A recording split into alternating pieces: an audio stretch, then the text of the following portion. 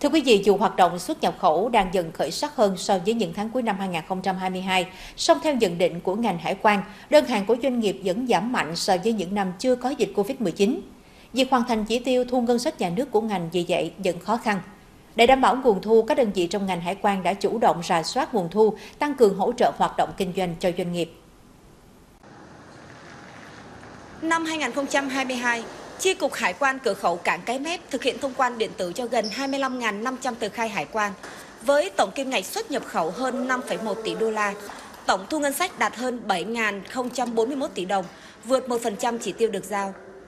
Kỳ nghỉ Tết Nguyên đán năm 2023 kéo dài và rơi trọn vào tháng 1, nhưng tổng số tờ khai hải quan trong tháng vẫn tương đương tháng 1 năm 2022 với gần 2.000 tờ khai.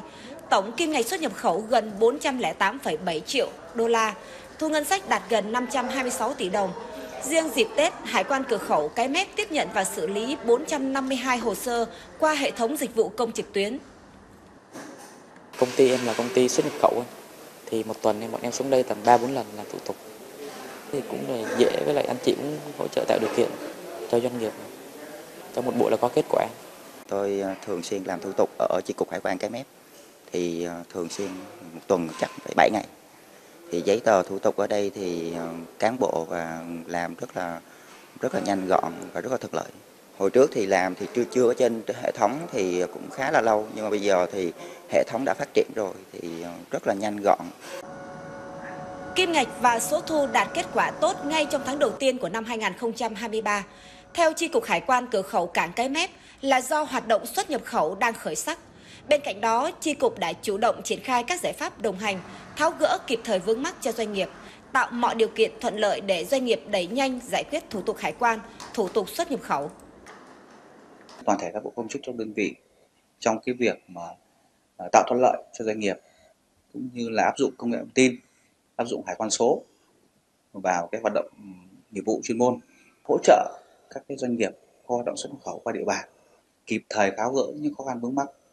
tổ chức các cái buổi à, gặp gỡ đối thoại cũng như tham vấn các doanh nghiệp để để để từ đó nhận diện ra những cái khó khăn của doanh nghiệp và có những cái hoạt động hỗ trợ.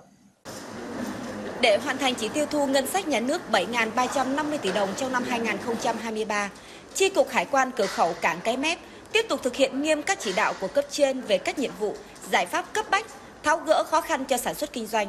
Chi cục cũng tiếp tục triển khai các chương trình, kế hoạch về cải cách hành chính, hiện đại hóa hải quan, chống buôn lậu và gian lận thương mại, thực hiện quyết liệt các biện pháp chống thất thu qua mã số, qua giá, quản lý nợ thuế, thu hồi nợ động, quản lý rủi ro, đồng thời tăng cường kiểm tra sau thông quan.